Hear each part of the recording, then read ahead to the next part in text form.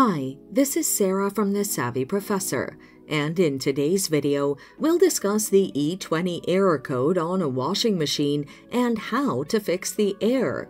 But first, what does the E20 error code mean? An E20 error message display on a washing machine indicates a draining issue.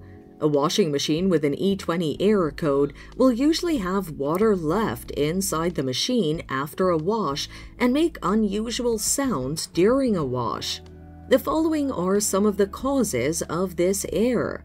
The drain hose is in the incorrect position. This error can occur when the draining hose extends more than 10 centimeters into the drain. An incorrect drain height. This error message can also occur on your washing machine when the drain height is less than 60 centimeters from the base of your machine. A pinched draining hose. This error can occur when the draining hose of your washing machine is pinched, thus preventing your machine from draining water from the tub. A blocked drain pump filter.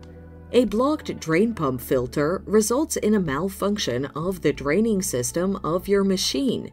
This malfunction results in the error code message. The use of a lot of powdered soap. Using high volumes of powdered soap produces a lot of foam. This thick foam blocks the drainage system of your machine, thus causing the error. Now, let's look at the best solutions you can apply to fix the error. Position the drain hose correctly. You can correct this error on your washing machine by reinstalling the drainage hose. To do this, uninstall the drain hose from your machine. Ensure the drainage hose extends no more than 10 centimeters. Install the drainage hose back to the machine. Position the drain height correctly.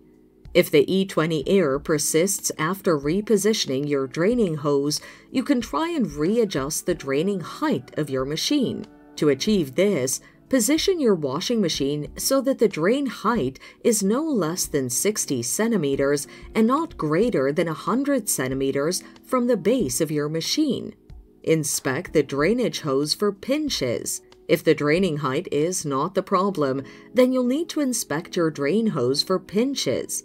To do this, check the drainage hose for pinches along its length. Inspect the drainage pump or filter for blockages. Open the flap on the bottom of your machine housing the draining filter. Twist the filter cap, remove the draining filter, and let the water drain from your machine.